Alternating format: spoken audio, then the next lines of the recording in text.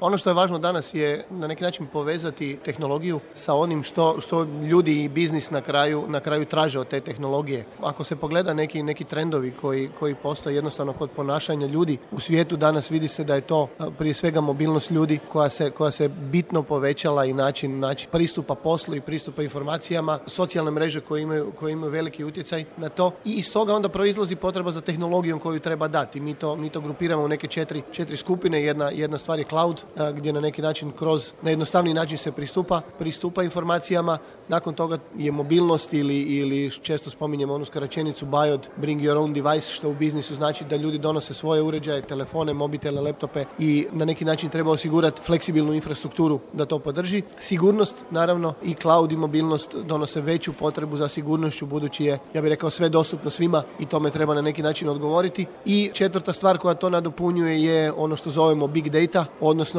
analiza jedne ogromne količine podataka koja je danas dostupna i pokušati iz tih podataka dobiti suvislu informaciju koju čovjek u tom trenutku želi. Ja bih rekao za usporedbu Google Search je bio divna stvar prije deset godina, danas se ljudi žale ako dobe, ako baš na prvoj strani u prvih pet odgovora nisu dobili ono što žele. Znači sa big data principima i načinom organizacije će se očekuje tu jedno, jedno unapređenje.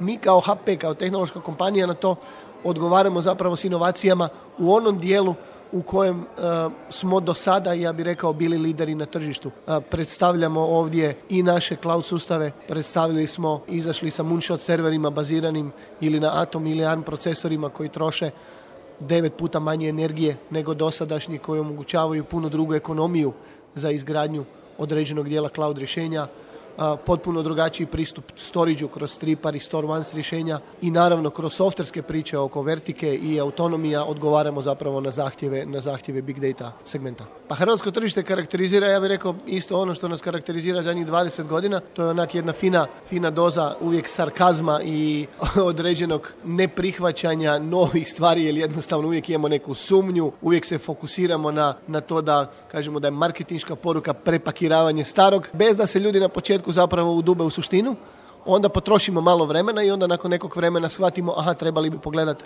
o čem se radi. Ja znam da to nije lijepo reći, da to, to možda ljudima teško zvuči, ali ipak na kraju kad pogledamo trendove koje velike kompanije diktiraju ili koje manje inovativne kompanije diktiraju, one donesu promjenu.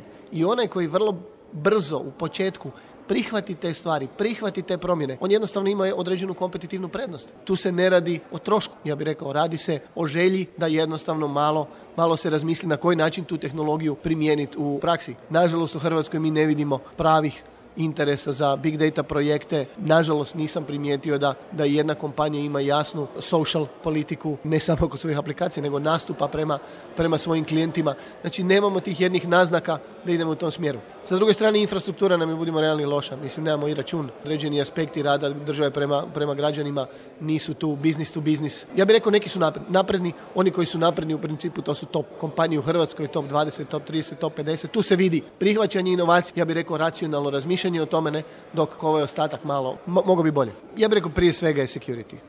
Prije svega je security i druga stvar je razumijevanje na koji način kompanije, odnosno enterprise, promišljaju IT i što oni žele gore vrtiti na tome. Znači, dok je u consumer segmentu činjenica da imate uh, punokrvni box ili drop box klijent nešto što prodaje uređaj i to jako, jako vrijedi. Sa druge strane, pristup servisima koje vam daje kompanija na siguran način, single sign-on, uh, handlanje certifikata, mogućnost upravljanja i menadžiranja tih uređaja na siguran način je nešto što kompanije daju veći naglasak i u tom trenutku mislimo da i mi sa svojim uređajima i da Windows 8 iznad njih od Microsofta daju određenu prednost.